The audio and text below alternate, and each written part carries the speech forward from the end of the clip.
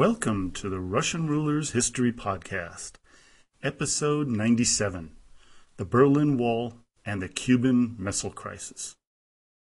Last time, we recounted Khrushchev's trip to America, the downing of the U 2 spy plane with the controversy that surrounded it, and Nikita's embarrassing behavior at the United Nations. There is one thing I've failed to mention in previous podcasts on Khrushchev, and that's one that I'm going to rectify right now. And it's his fanatic persecution of religion, a pogrom far more vigorous than even under Stalin. There was a revival of religion that was necessary during World War II to rally the people, but with the war over, it wasn't needed by the communists and was viewed as a threat to their authority, especially by Nikita Khrushchev. As Geoffrey Hosking put it in his book, Russia and the Russians, A History, quote, between 1958 and 1964, the Russian Orthodox Church lost some 40% of its parishes and about three quarters of its monasteries. Closures were especially frequent in Western territories and in regions occupied by the Germans during the war. Other denominations heavily hit by the campaign included the Armenian Apostolic Church, the Adventists, and the Baptists, while the Jews lost about a third of their synagogues and the Muslims more than a fifth of their mosques.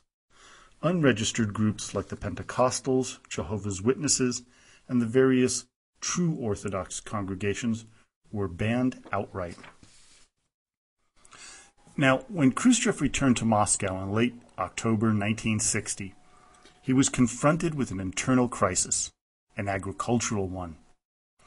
Even though he was warned repeatedly that his Virgin Lands program was a colossal mistake, he believed he was right, and his beliefs were bolstered by the first two harvests in 1958 and 59, which were excellent. The 1960 harvest over all of Russia, and in particular the Virgin Lands, was the worst since Stalin's times and this was due to some terrific drought conditions. Now, one of the reasons for the failures was Khrushchev's insistence on following the crackpot theories of one Trofim Lysenko. And listener Dave, this one's for you. We do mention the man. Well, as Taubman described the pseudoscientist, quote, born into a peasant family, the barefoot scientist, as he was called in a 1927 Pravda article that helped launch his career, professed to have solved problems that plagued Soviet agriculture. How to enrich the soil without fertilizers or minerals, how to protect wheat by vernalizing it, i.e., by soaking and chilling the seed before planting it, and how to crossbreed wheat rather than plant the pure varieties recommended by specialists, by having peasants march through the fields using scissors and tweezers to open up self-pollinating self-pollinating spikelets to wind-driven cross-pollination. Lysenko also claimed to have disproved the genetic theory of inheritance and, contra Darwin, to have altered the basic nature of plants and animals by changing environmental conditions. Now, when even his own family members tried to convince Nikita that Lysenko was a quack, his son Sergei remembers, quote, The conversation really angered father. He never shouted at his family, never cursed, or raised his voice. But this time he flared up and in a raised voice repeated his old arguments that unscrupulous people were using us for their own purposes, and that we, ignorant in this manner, were echoing their words. Finally, he lost his temper altogether and declared that he wouldn't tolerate carriers of an alien ideology in his own home, and that if we persisted, we'd better not darken his door again. Now, the real problems which plagued the Soviet Union was the lack of incentive for any increased production and a real lack of equipment and supplies to harvest the fields. By March 31, 1961, Khrushchev proposed a 15 point program to revitalize the agricultural system, but instead of trying to fix the fundamental problems, he relied on miracles based on quack science supplied by Lysenko and his minions. The other problem vexing Khrushchev was the German issue. As his son puts it, he had nightmares about it. The German problem gave him no peace. Instead, it kept slipping out of his hands. More and more of the best workers in East Germany crossed the border to the west, which severely hurt the GDR's economy. Khrushchev needed to find a way to get the United States back to the negotiating table, but America was in the midst of a presidential campaign between Vice President Nixon and John F. Kennedy. When Khrushchev learned of Kennedy's victory, he proposed pre inauguration meetings, which Kennedy had to reject.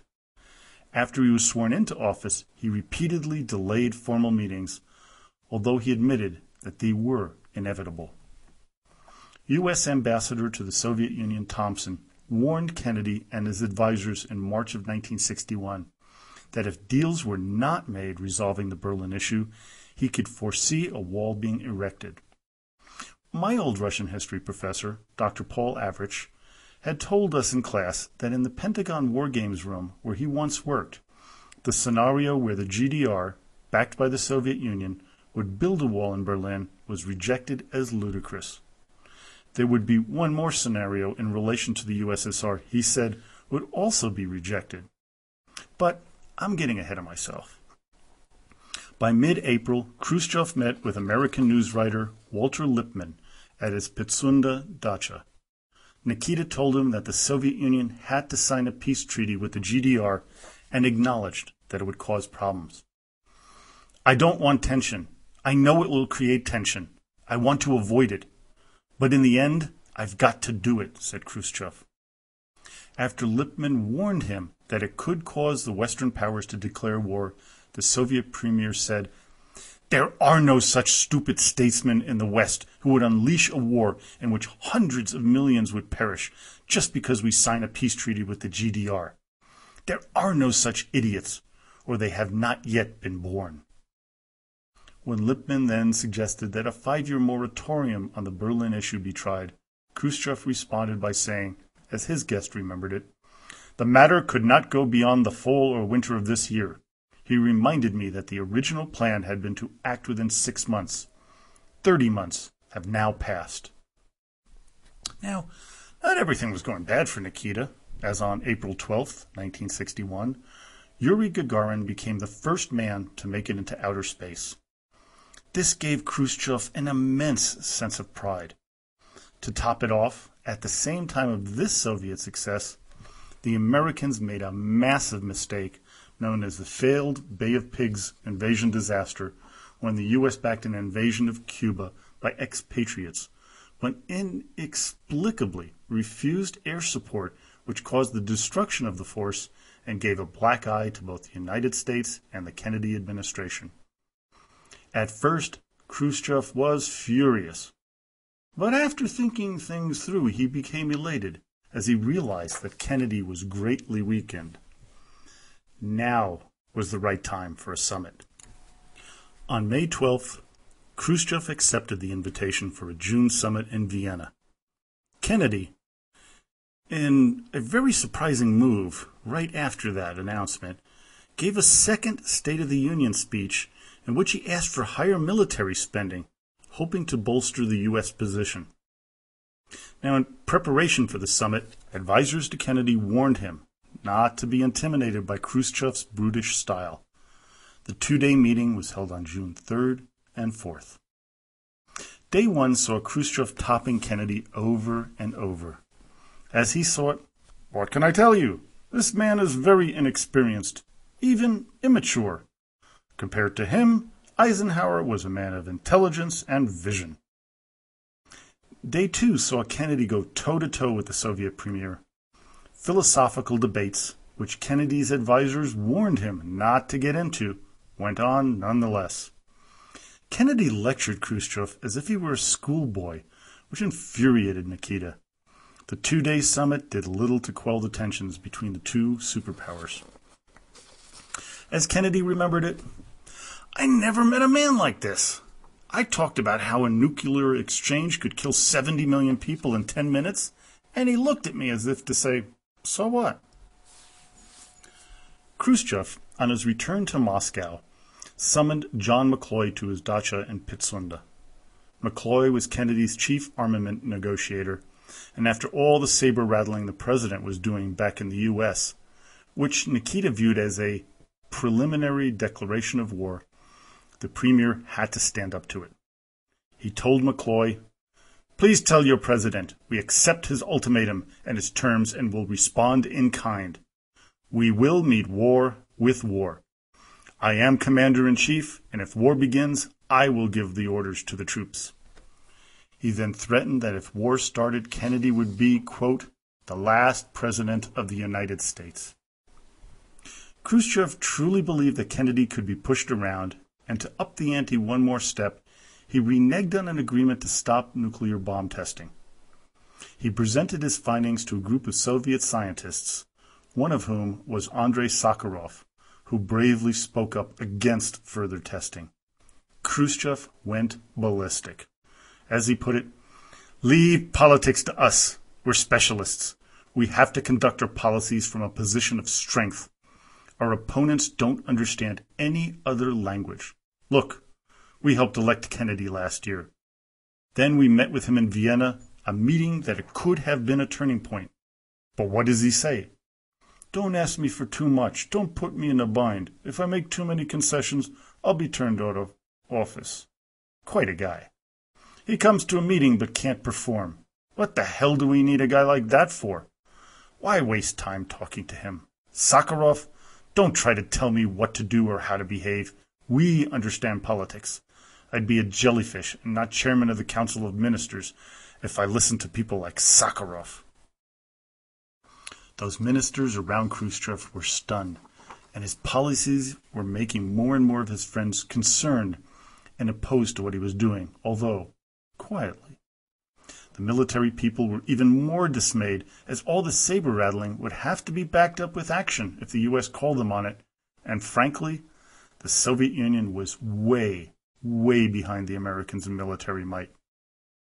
As Marshal Sergei Varentsov said to Colonel Oleg Penkovsky. With respect to ICBMs, we still don't have a damn thing. Everything is only on paper, and there is nothing in actual existence.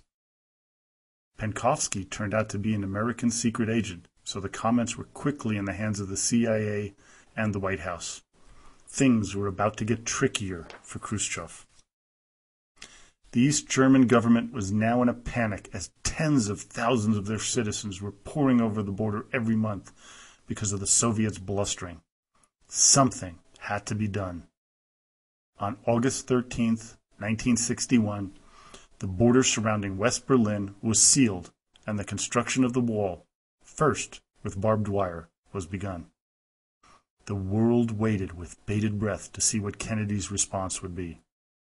The first stage of barbed wire being put up was a test to see if the West would acquiesce to their actions. Kennedy did nothing, as he promised to protect West Berlin, not all of the city. The mortar part of the wall could now be erected. As Nikita's son remembered, father was delighted. By establishing control over its borders, he thought the GDR had achieved even more than it could have from a peace treaty. Others saw it differently. Troyanovsky thought that the wall, quote, saved Khrushchev's face, but it was a silent recognition that he had not achieved his basic aim to force the Western powers into a compromise favorable to East Germany.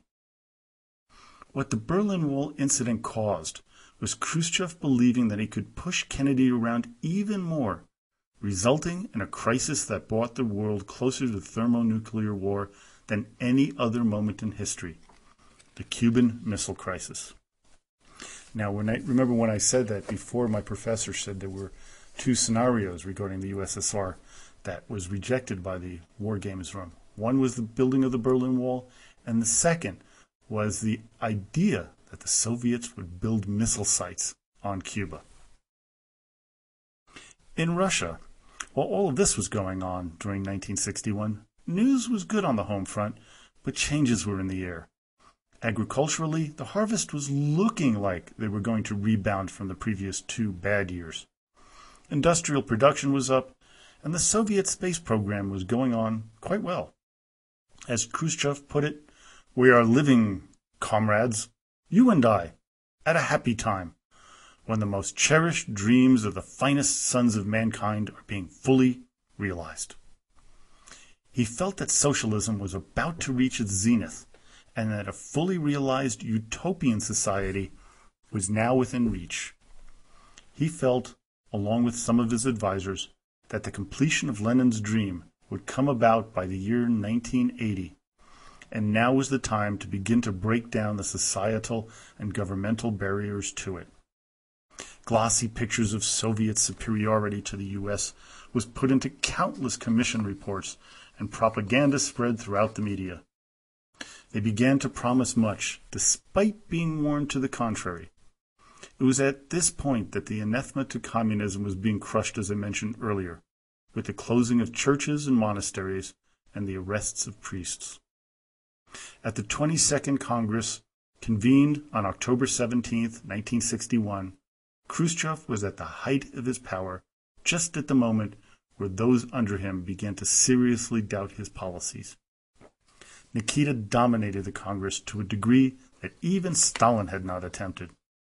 He gave numerous speeches and read many of the reports to the point where years later a Khrushchev detractor, Dmitry Polyansky, complained that a party of 10 million couldn't find one other person in its ranks to give one of these reports. This Congress was, as Pyotr Demichev said, was Nikita Sergeyevich's time in the sun. The sun was now beginning its descent. Another issue brought up at the 22nd Congress was Stalin and his legacy. At the beginning of the Congress, the late leader's body lay next to Lenin. Then a motion was made on the next to last day of the Congress to recognize as, quote, unsuitable the continued retention in the mausoleum of the sarcophagus with J. V. Stalin's coffin. That night, Stalin's coffin was removed, dumped into a pit, and covered with truckloads of cement. As Shelepin remembered the event, they didn't carry it out horizontally, but at a 45 degree angle.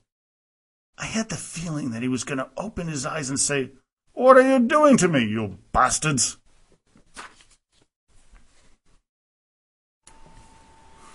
Kaganovich, Molotov, Malenkov, and the others from the anti-party group, who had already been sent to God-forsaken outposts in the past, were now removed and stripped of any and all privileges they had and were completely removed from the Communist Party.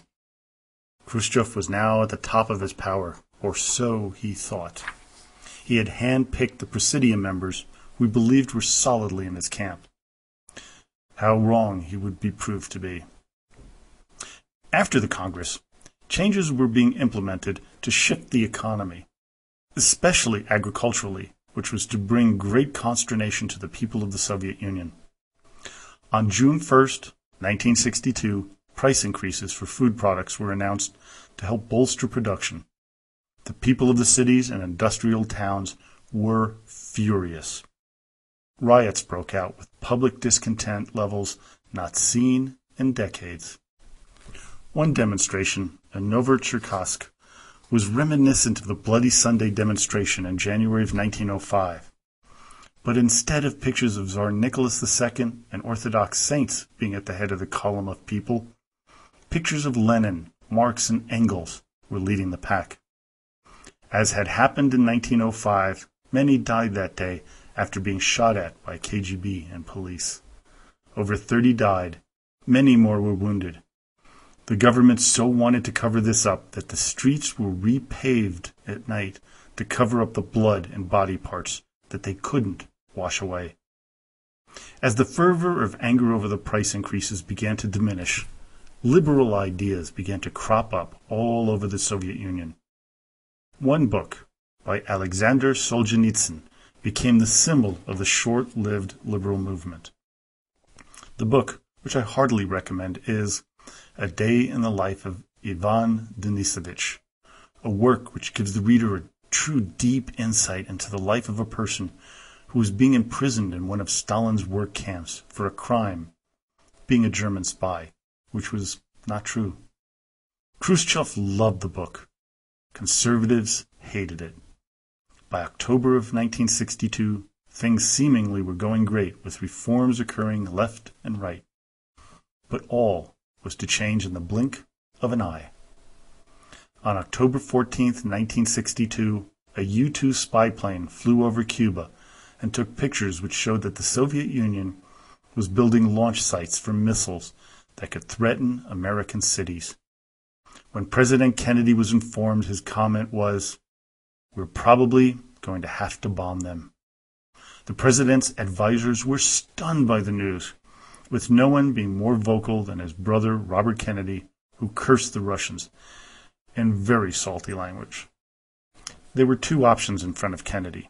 One was airstrikes against the sites, but that one might incite the Soviets to attack Berlin and try to seize the city, making the European allies question Washington's strategy. If he ordered a blockade of the item of the island, Moscow might order the same around Berlin. What to do? What to do? Khrushchev, on the other hand, was attempting a bold gamble that he hoped would strengthen his hand both domestically and internationally. There were growing grumblings in Moscow, especially amongst the military elite, over Nikita's handling of affairs. He had to support his communist brother Fidel Castro in Cuba, as the Caribbean leader feared another attempt by the Americans to storm his island and depose him. There were American forces on the island at Guantanamo Naval Base, so it seemed to him that the next attack, after the failed debacle of the Bay of Pigs invasion, would include American Marines. Khrushchev asked his defense minister Malinovsky how long he estimated that the Cuban forces could hold off the Americans. The reply was days. Of course, Khrushchev and Castro were right in their fears of an invasion. The Pentagon was planning different types of covert operations to assassinate Castro, invade the island, and an invasion planned to occur somewhere around October of 1962. Nikita needed to act and act boldly. But how? Earlier that year, it was decided that the Soviets would help Cuba by building missile launch sites to both protect the island and to threaten the Americans, much like the Americans threatened the Soviet Union with missile sites in Turkey and Italy with their Jupiter class missiles.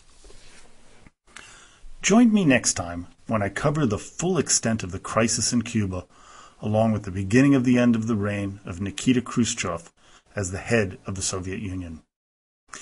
Next time. Let me redefine what next time means. Over the past two plus years, I've attempted to make sure that I got a podcast out pretty much every week. Well, I'm sorry to say that won't be possible anymore. In the next couple of weeks, I'll be starting a new position as the president and CEO of a company that will be building medical labs around the world. And that's going to put a serious cramp in the time I have to be able to devote to this podcast. See, I'm not going to allow the quality of the material to suffer. So I'll be going into an every other week schedule. But I will also be doing my overdrive podcasts on those weeks when I don't have a scripted podcast to record. I will continue with the so- Sino Soviet dispute over uh, the borders and Mao's problems with Khrushchev from Khrushchev's memoirs, as well as his opinion of the policies of the people who succeeded him. Another series I have planned will take us back in time to Catherine the Great's memoirs of her early days in Russia. Then I will go even deeper into the past by reading passages from the primary chronicles which go back to the first Rurikid rulers of Kiev. Well, I hope you enjoyed today's podcast. Don't forget to look us up on Facebook at the Russian Rulers History Podcast page, where you can ask a question, leave a comment, or make a suggestion. So now, as always, до свидания и спасибо большое.